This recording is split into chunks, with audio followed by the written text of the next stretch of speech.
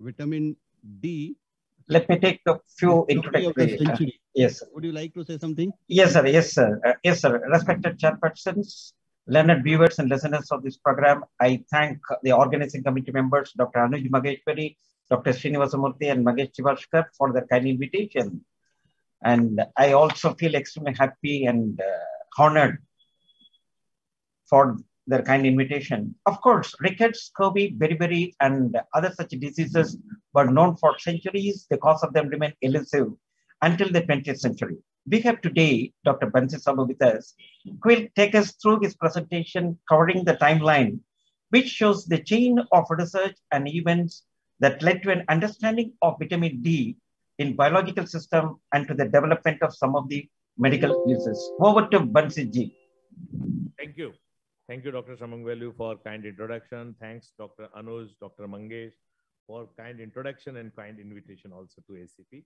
Thanks, Dr. Srinivas Murthy. I acknowledge presence of RSSDI President, Dr.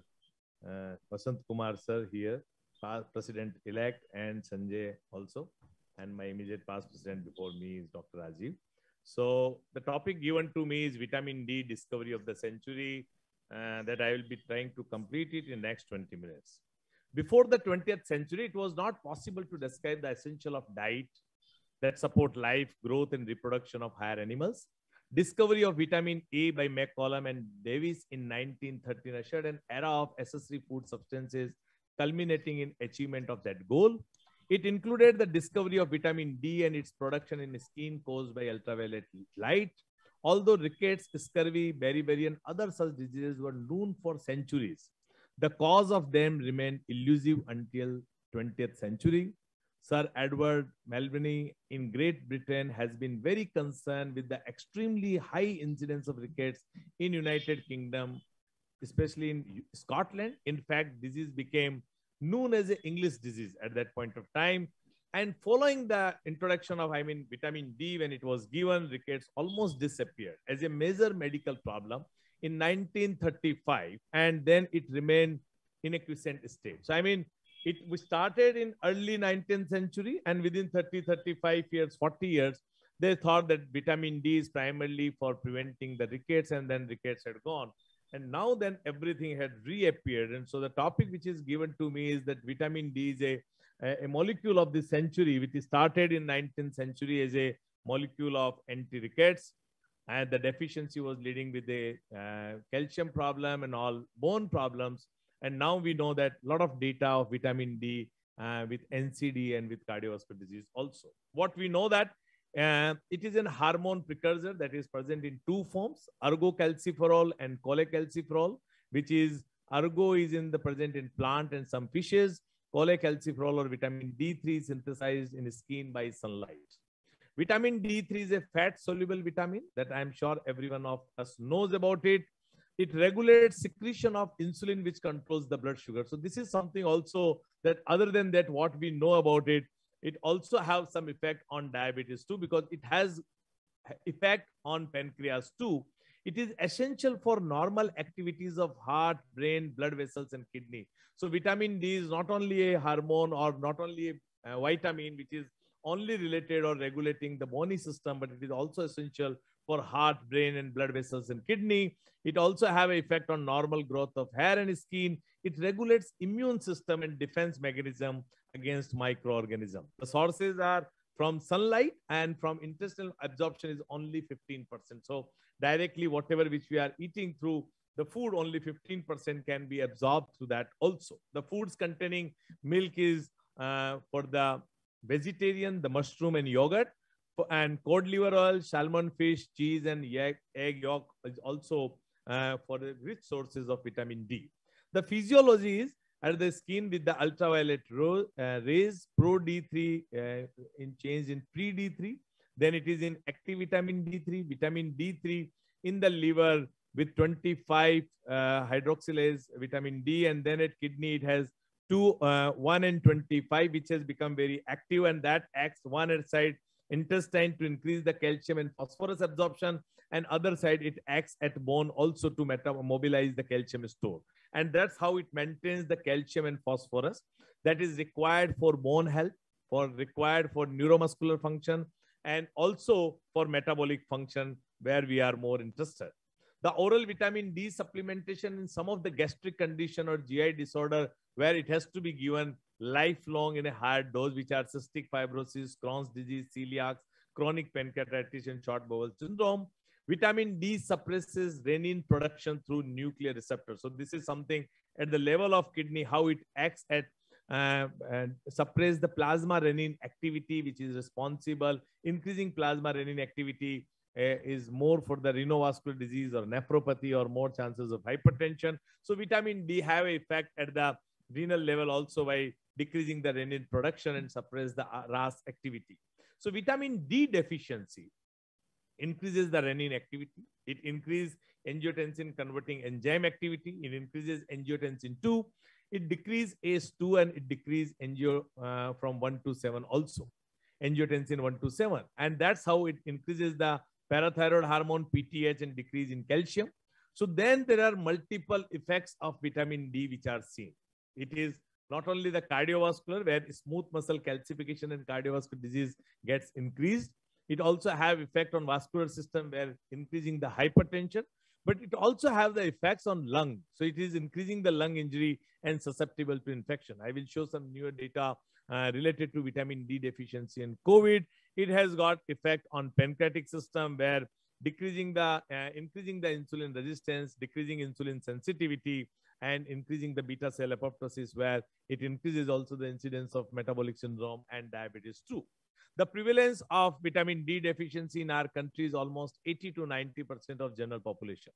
Children, young, middle-aged, elderly, all are at higher risk of vitamin D deficiency and insufficiency all over the world. So even they may not be significantly deficient, but insufficient are many.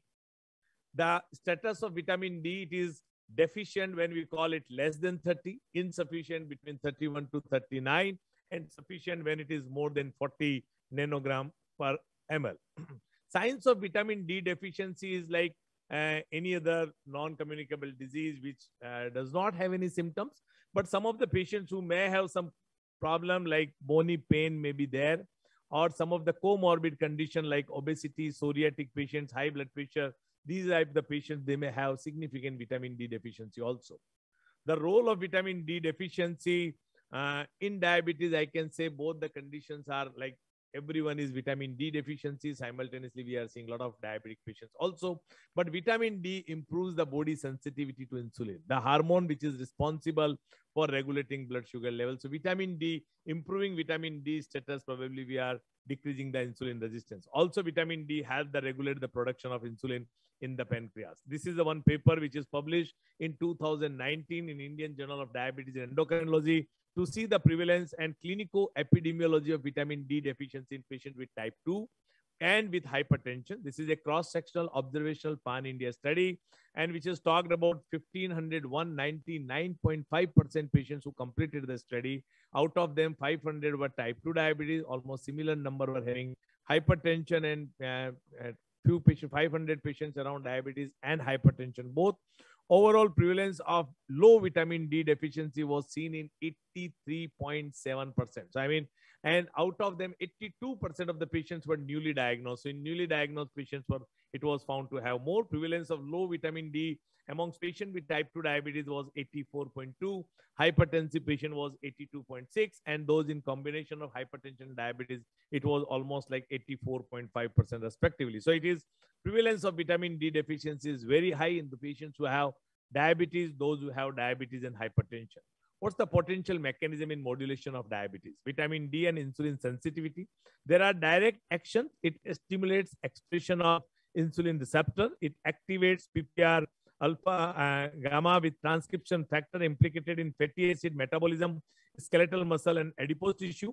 It regulates extracellular calcium influx through cells. It has got anti-apoptotic effect, and it is also having the effect through RAS mechanism also.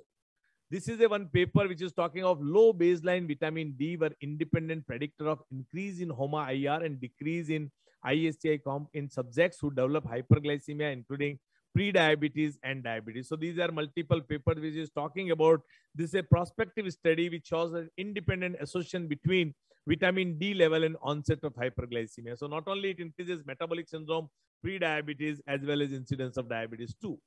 Does we have the effect on other side that by supplementing vitamin D, does it improve the glycemic control or decrease the insulin resistance in a pre-diabetes population in a meta-analysis with a controlled clinical trial that assess glycemic outcome measures among adults at risk of type 2 diabetes, including pre-diabetes, overweight or obese.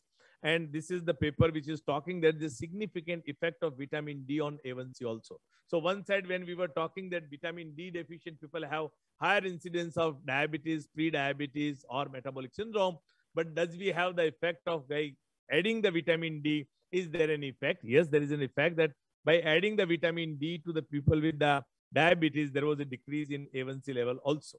So the vitamin D deficiency and type 2 diabetes are escalating health problems worldwide. The results suggest that vitamin D supplementation improves glycemic control and attenuates insulin resistance in pre-diabetes or individuals who are at the risk of developing diabetes.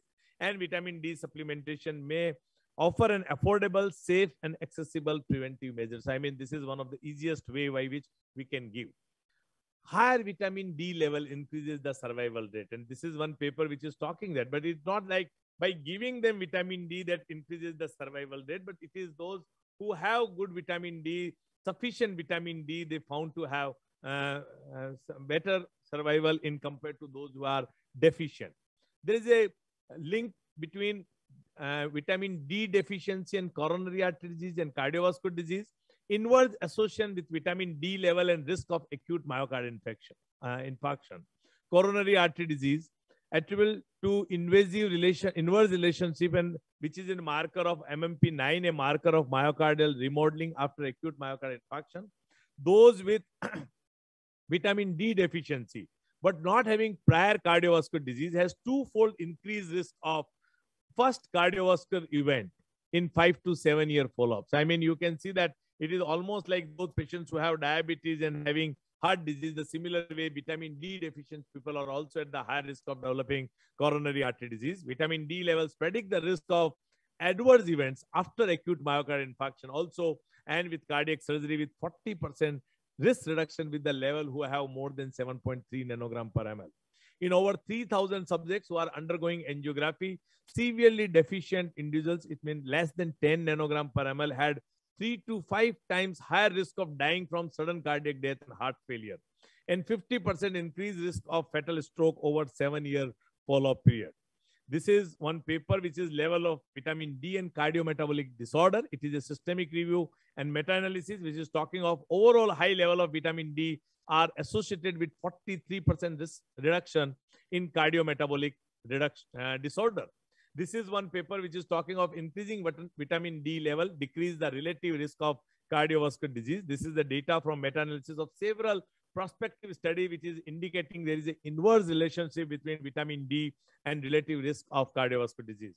So vitamin D and heart, it is like almost lower vitamin D mean higher risk of cardiovascular disease and can we consider is a vitamin D a new therapeutic options for prevention of coronary artery disease also. But at this point of time, we don't have sufficient data that by just by giving or supplementing vitamin D, will it decrease uh, significantly uh, the coronary artery disease. But there is a direct relationship in shown that lower the vitamin D, higher the risk of developing the coronary artery disease, acute myocardial infarction, as well as uh, sudden cardiac death also. So what's the directly it has actually low vitamin D have effect on higher blood pressure, more metabolic syndrome, more pre-diabetes, more diabetes, more atherosclerosis, more inflammation, more heart failure, and they all increase the cardiovascular disease. This is a paper which is talking of observational study have shown that low vitamin D are associated with adverse cardiovascular risk profile and significantly increased risk of cardiovascular events also. There are immune effects of vitamin D also. So, I mean, we talked about the metabolic syndrome, we talked about the cardiovascular disease, we talked about the vitamin D association with diabetes, and we had shown also that how supplementing vitamin D actually decrease A1C level also. But immune effects of vitamin D is a multiple effect of uh, immune problems occurs with the patients who have vitamin D deficiency, and this has been seen uh, in evidence with COVID-19 also. Vitamin D deficiency may increase the chance of enveloped virus infection. Risk of enveloped virus infection is increased by 50%. So vitamin D deficients were having more risk of COVID infection also. This is in paper which is published in American Journal of Respiratory and Critical Care Medicine just recently in 2020.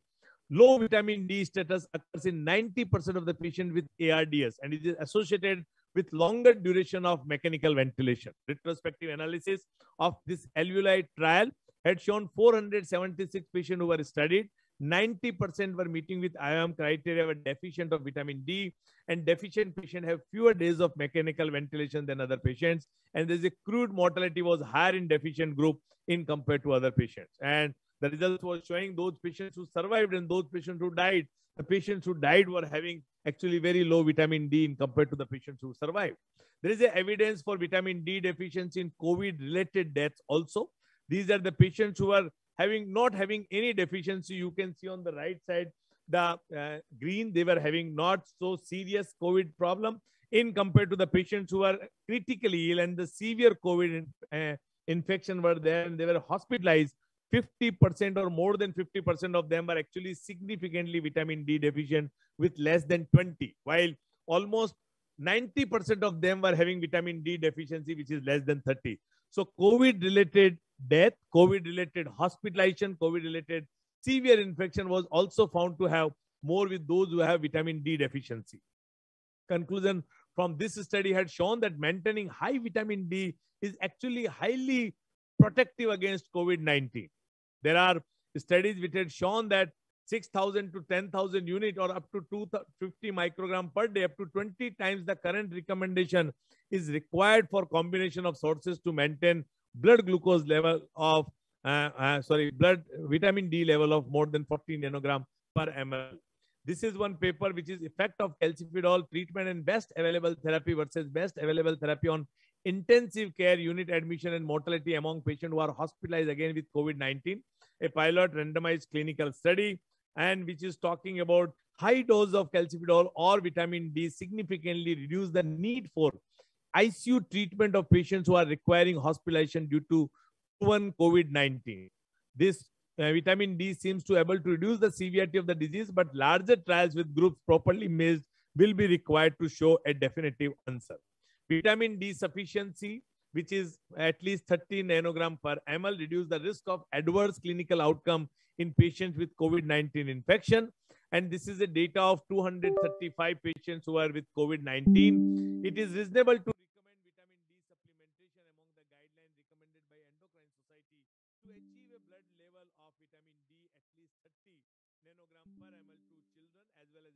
potentially reduce the risk of requiring the infection for all COVID-19 patients, especially those being admitted into the hospital. So this is recommendation by Endocrine Society, which is uh, largest society of US uh, of endocrinologists.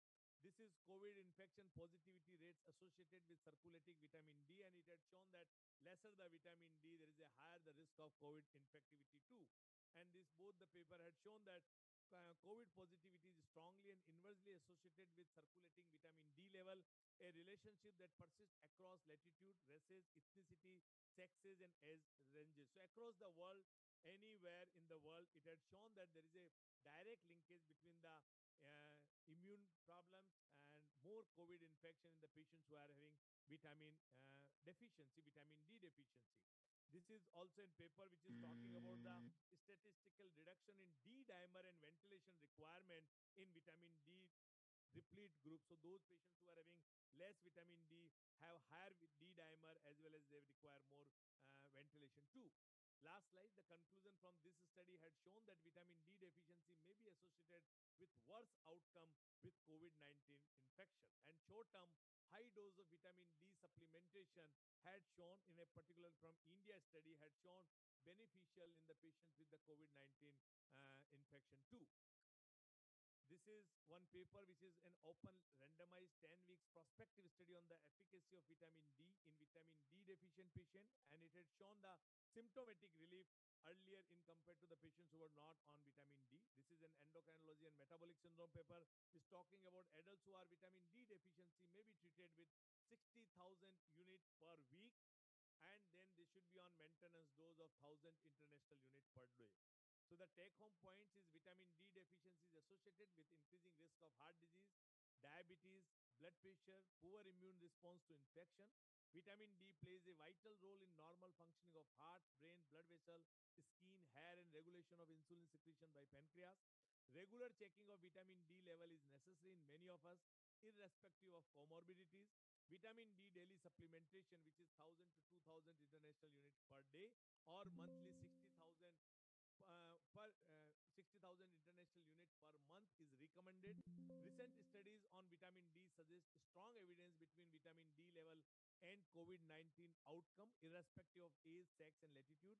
Optimal vitamin D level, which is more than 40, appeared to confer better immunoprotective response against COVID-19 An increase in morbidity and mortality in COVID-19 patients with severe vitamin D deficiency is also been found with this. Thank you. Once again, thanks to both the chair